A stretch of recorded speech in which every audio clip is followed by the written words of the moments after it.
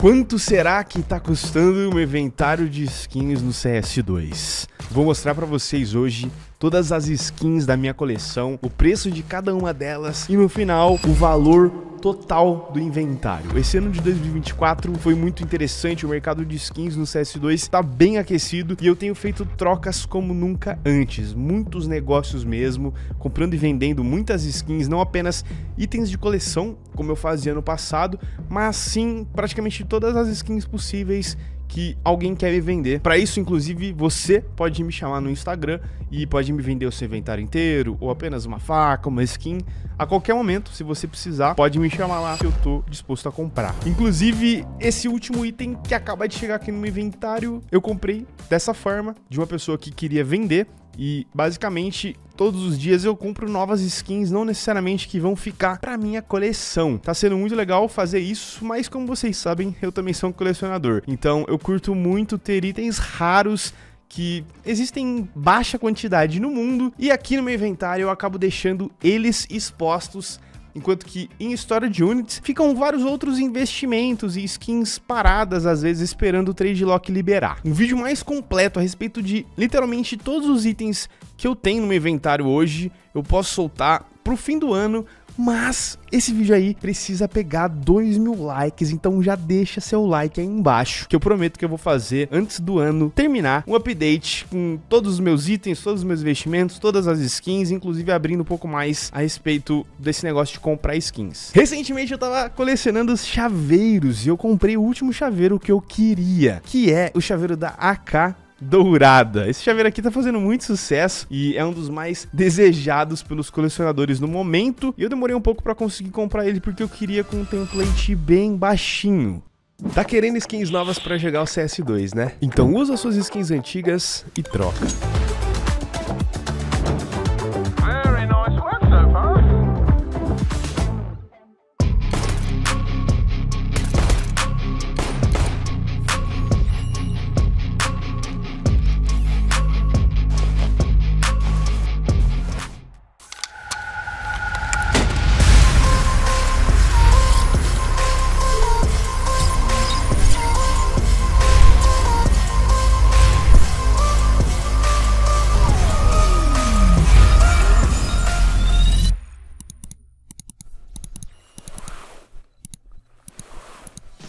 Bom, confesso que a coleção tá bem recheada, tem algumas skins que vocês ainda não conhecem, e eu aproveitei esse momento da alta do dólar, que encostou em 5,90, para entender um pouco mais o valor total do meu inventário e decidir as skins que vão ficar e possivelmente algumas skins que vou acabar vendendo. Que é o caso dessa primeira faca aqui que já entrou, que é essa Skeleton Fade, com 92% de fade e um float .00 uma skin de mais ou menos 1.300 dólares. E com ela começamos a tentar entender quanto vale meu inventário. Eu não vou mostrar nada do que tem nessas histórias de units hoje, mas resumindo, tem alguns investimentos em agentes stickers, crafts e skins líquidas em grande quantidade que são fáceis de vender. Até o final do ano eu pretendo liquidar esses investimentos e transformar possivelmente mais uma Blue Gem. Mas assim, calma, vamos ver o que eu vou fazer. A AK dourada Paguei 100 dólares, ela tem um template 110. Pelo que eu entendi, quanto mais baixo, mais caro aqui no caso desse chaveirinho. Abaixo de 50 já dobra de preço, já seria tipo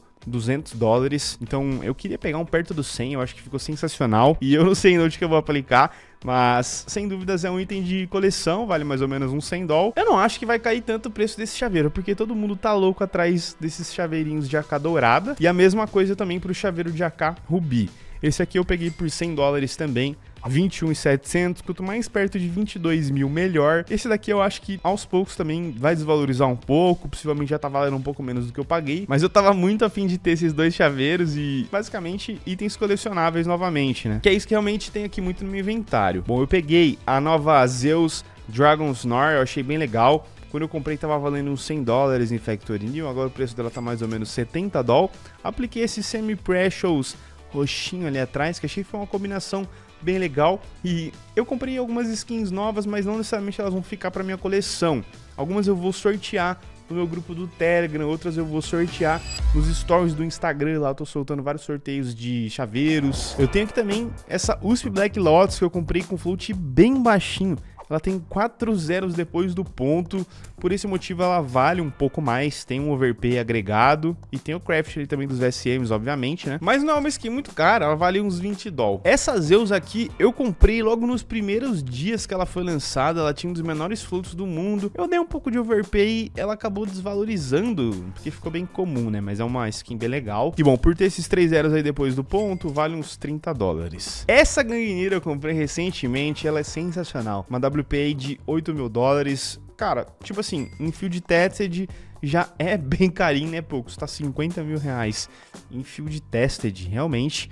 Mas eu comprei porque tinha esse sticker e foi uma oportunidade de pegar ela como um item realmente de revenda, né? Um item que eu não tô pegando como um colecionador nem nada, mas assim, eu gostei muito desse sticker aplicado nela. Até pensei em vender para comprar uma Factory New, mas por hora eu tô me divertindo muito com essa Gangnir que tem esse stickerzinho ali no scope. Vocês estão ligados que eu já tive Gangnir .00, mas eu tenho um lema que, tipo assim, como colecionador, se eu precisar fazer um sacrifício de uma skin mais barata para adquirir uma skin mais cara, eu vou fazer.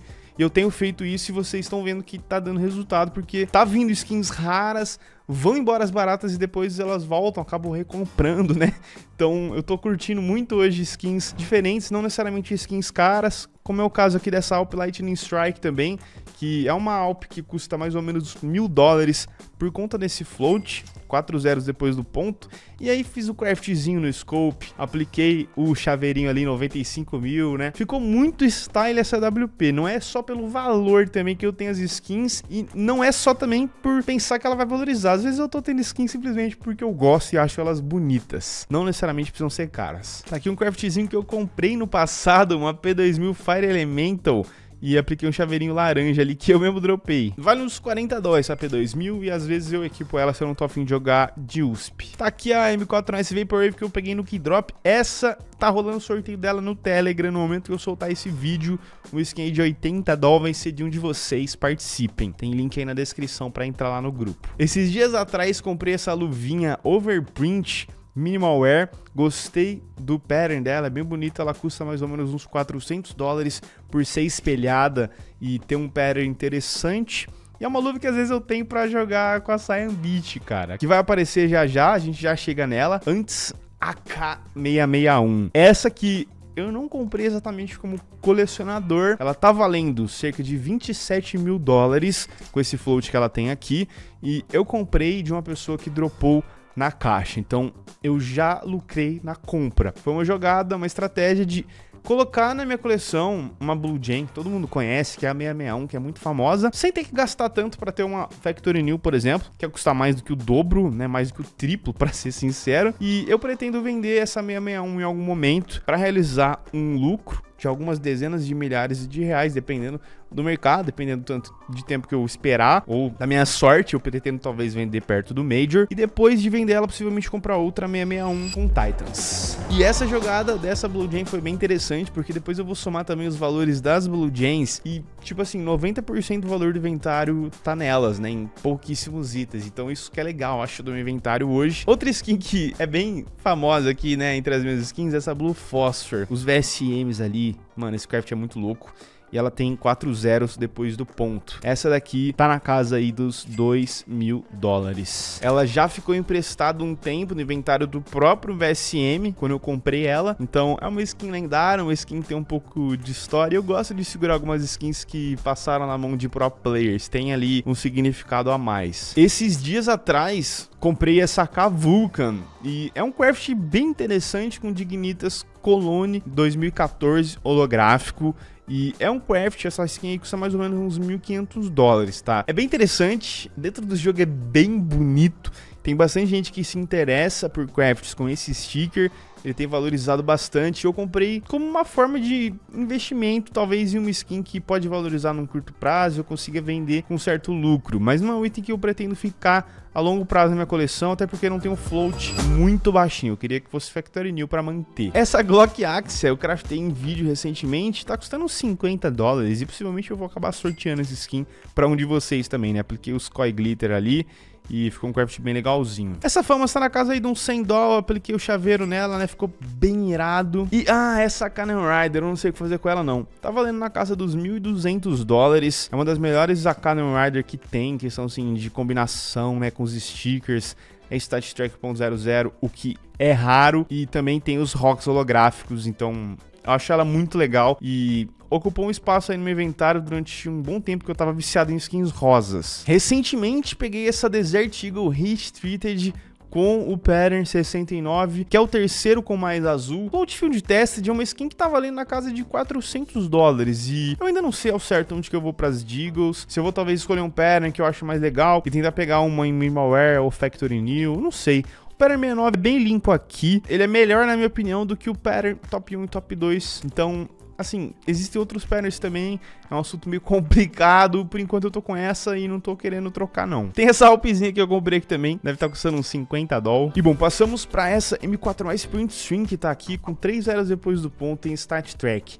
Essa tem o segundo menor float do mundo. Tá aqui ela, ó, a princípio eu não quero vender, é um item muito difícil de ser substituído, muito difícil de dropar outra. E eu estimo que possa ter um valor de mercado de cerca de 5 mil dólares. Uma ponto .00, para vocês terem noção, não vende por menos de 2 mil, 2.500 dólares. Então, assim, a gente tá falando de um zero a mais depois do ponto. E é a top 2, né? Além de ser a top 2, só droparam 5 no mundo com 3 zeros depois do ponto. Então, é bem rara, tem um float menor até do que a M4 Spring String que recebeu os Titans holográficos. Então tô com uma skin bem legal ali que não vai perder o posto provavelmente de top 2 nunca, e mesmo que perca, não vai perder muito, tipo, overpay, não. Top 3, top 2 dá na mesma. Aqui temos uma Karambit Diamond Gem. Cara, essa tá linda.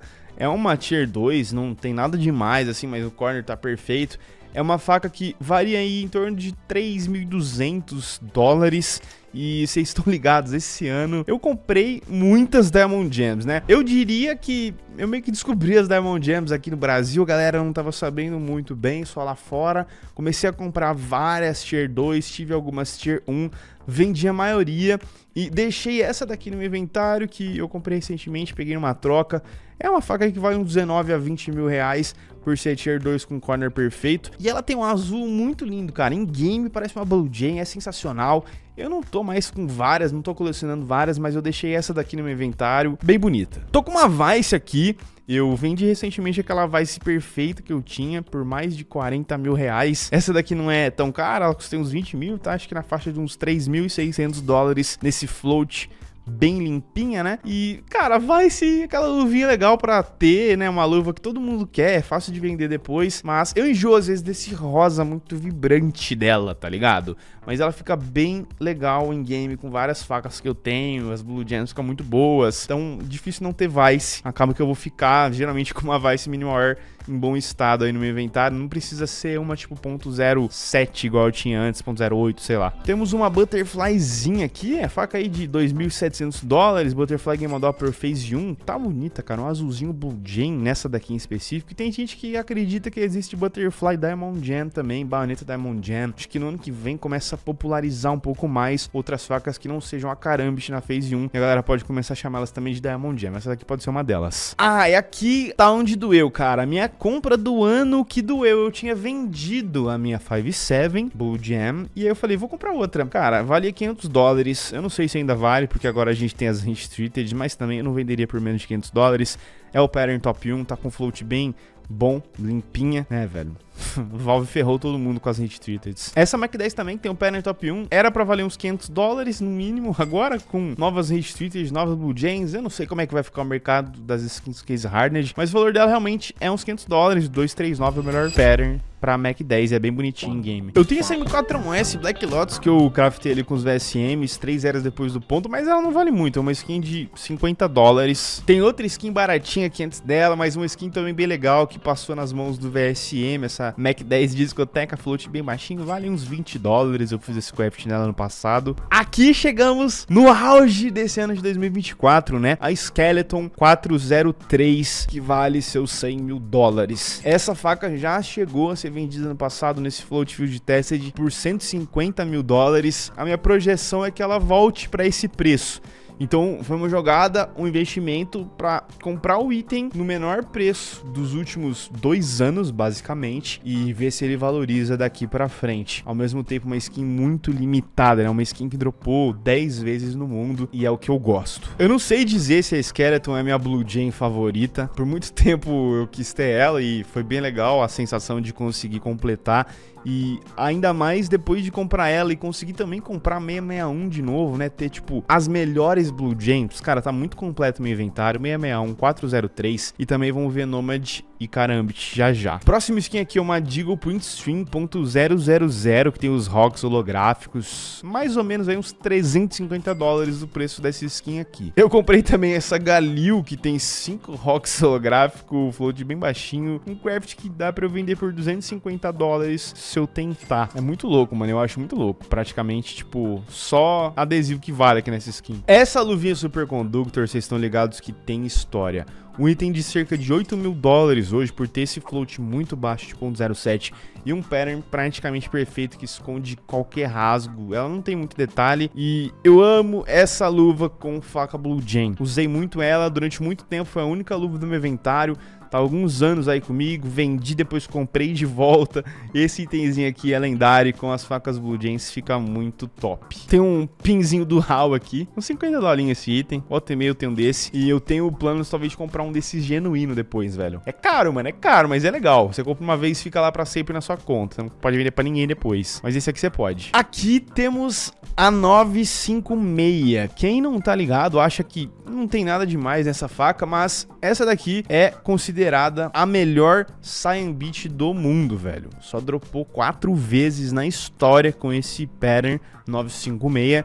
Ela tem o máximo de ciano possível. Considero essa faca valendo mais ou menos 5 mil dólares, porque eu já tive oferta de 5 mil dólares nela e recusei. É um item lendário para quem curte desde o CSGO Cyan Beach e já viu guias e tal, reconhece que 956 é o pattern top 1, é tipo a 387 da Karambit Game Doppler Phase 3, e é um itemzinho muito legal, dentro do game fica muito linda, com uma overprint. É uma faca que eu tenho aqui, tipo, como coleção. Aí eu tenho essa SG Integral, tem um overpay pelo float.00, custa 100 dólares. Antes dela, tá a lendária Nomad 577.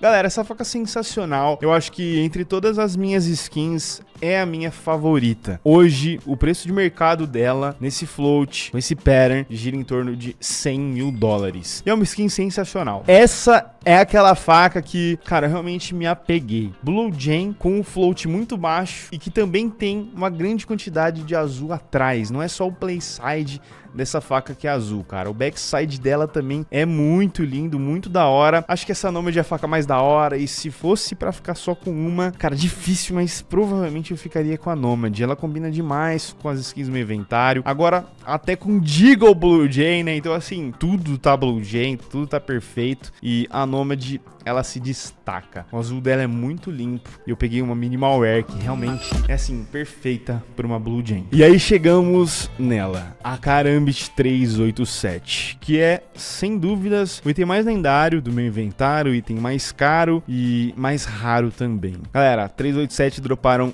pouquíssimas e eu consegui comprar essa, que é a que tem o terceiro menor float do mundo. É muito caro e também é muito restrito o acesso a um item desse. Não é sempre que tá à venda.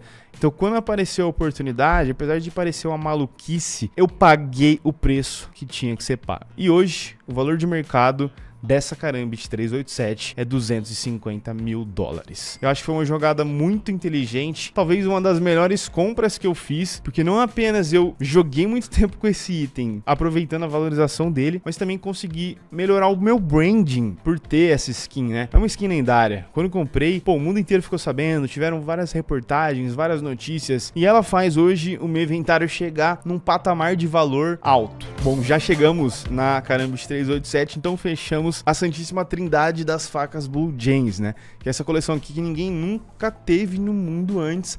Ao mesmo tempo, uma Karambit 387, a Skeleton 403 e a Nomad 577, que são os melhores patterns para as três facas Blue Jays mais caras do CS. E aí já mostrei antes a Mac 10, a 57 e a AK. Então agora a coleção de Blue Jays está completa também, porque eu tenho a Deagle Restricted. Digamos que tem todas as Blue Jays possíveis quase aqui no meu inventário, cara. E o que eu não mostrei ainda São alguns crafts interessantezinhos, tipo essa nova, vale aí uns 30 dolinho. Tem o SMP9 Mount Food que eu craftei, uma skin de 300 dólares, tem um pattern muito bom, um float muito bom e tem os rocks ali. Eu acho ela bem interessante, bem legal de jogar com ela. Mano, essa shotgun aqui paguei 100 dólares, é carinha. E eu tenho também essa M249 com float muito baixo, velho. Olha o float desse negócio. Tem 5 0 depois do ponto. Ela tem o quinto menor float do mundo e aqui o valor é uma interrogação, 100 dólares. Se bem que se alguém oferecesse 100 dólares, não venderia ela não. E aqui tá a minha skin com Titan holográfico, cara. Eu preciso de mais skins com Titan holográfico, eu tô com saudade, mas eu mantive essa scoutzinha aqui. É a Blood in the Water com o menor float do mundo, que possui um Titan holográfico, uma das poucas Factory New, uma skin de 5 mil dólares. Hoje o Titan tá uns 60 cadol. Então assim, ela não pega tanto overpay do Titan, até porque só tem um e, né, é uma skin antiga, mas assim, eu acho muito louca. Tem essa saud off aqui. Essa daqui custa 6 dólares e 90. E a Tech9zinha, que muita gente já tentou comprar, já tentou levar embora. Que eu apliquei esses Blue Jam Glitter, né? Acho muito louca essa skin, velho. E ela tem um pattern especial e tal. Vale uns 20 dólares. Tem essa USPzinha, valor base dela é 100 dólares, mas ela tem ali um pouquinho de overpay pelos stickers e float. Essa Poseidon, eu acho ela muito foda. Três zeros depois do ponto, bem raro, uma skin de 2 mil dólares, um pouco mais até. Tem também esse sticker que eu apliquei ali, né? Acho muito louca, cara. Eu espero que a Valve em algum momento buff a M4A4. Galera, King Snake com um dos melhores patterns do mundo e esse float baixinho, ela tem um valor de mercado de 6 mil dólares. E bom, algumas menções honrosas aqui, skin de 1 dólar, temos essa P250 Whiteout, vale uns 100 dólares. Mano, essa Glockzinha minha aqui vale só 20 dólares, é bem baratinho, mas eu acho ela bem irada. E essa Beretas aqui de 10 dólares, floatzinho bem baixo. Aí eu tenho, obviamente, né, o Miami Daryl, esse daqui é um agente muito louco, tá valendo 120 dólares. E tem também o Rick Sol, que tá valendo 15 dólares. Essas são as skins públicas do meu inventário. E, galera, sinceramente, eu não quero enxugar o inventário. Todas as skins que estão aqui eu tô curtindo muito jogar com elas. Vai uma embora, entra outra, minha coleção vai mudando aos poucos. Mas é um investimento muito bom e muito interessante. Agora é torcer que valorize, né? Essa é a minha ideia principal para as skins. Primeiro, tá valorizando se o dólar valorizar, né? É um investimento dolarizado. Então, para nós que estamos aqui no Brasil, se o preço do dólar subir perante ao real, as skins são um investimento interessante a se manter ali. E o valor total passa aí sempre dos 500 mil dólares, é onde eu tento deixar o meu inventário. Se o dólar explodir e passar de 6 reais, bom demais. Se o dólar cair um pouco, possivelmente recupera depois. E só as Blue Jays tem realmente a maior parte do valor. O resto são skins que estão ali para completar, para ser uma coleção legal. E bom, fazendo a soma atualizada do valor do meu inventário com a cotação em dólar, o valor é esse que vocês estão vendo aí na tela passa um pouquinho dos 3 milhões, que é o máximo onde eu me sinto hoje confortável de manter na Steam. Mais do que isso, já me dá vontade de vender, de dar uma enxugada e é por isso que às vezes eu vendo um monte das minhas skins e vocês me veem até fazendo umas promoções no Instagram, querendo vender algumas skins raras, né? Mandando realmente elas embora. Esse é um investimento muito interessante, eu espero que esse valor perto do Major valorize. Obviamente que eu tô especulando, mas 10% já seria muito bom. Nessa escala aí de 10% só pelo Major, eu já ficaria muito feliz realmente se esse meu investimento subisse. E tudo que eu posso dizer é, não acabei ainda, não vai ficar assim pro fim do ano. Possivelmente vai ter ainda mudanças. Me aguardem, acompanhem, chequem se vocês estão inscritos aí no canal para receber todos os vídeos que eu posto com dicas valiosas sobre skins e deixa um like aí nesse vídeo para apoiar. A gente se vê na próxima, tamo junto. Falou.